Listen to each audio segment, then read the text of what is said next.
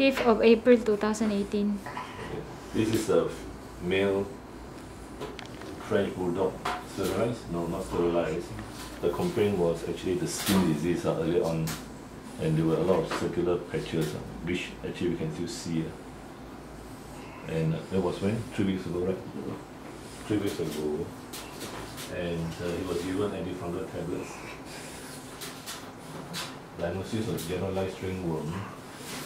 Uh, after taking the tablet for 21 days, is it itchy still? Is it still itchy? Not itchy, but it's not, not, not fully recovered. So let me just check with ultraviolet light. Let me hold the head. Huh?